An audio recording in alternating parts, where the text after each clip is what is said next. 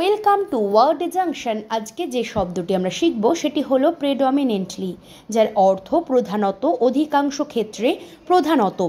First example the village is predominantly inhabited by farmers যার অর্থ গ্রামটি প্রধানত কৃষকদের দ্বারা বাস করা হতো। Second example the student population is predominantly male in this engineering college যার অর্থ এই প্রকৌশল কলেজের ছাত্র সংখ্যা প্রধানত পুরুষ।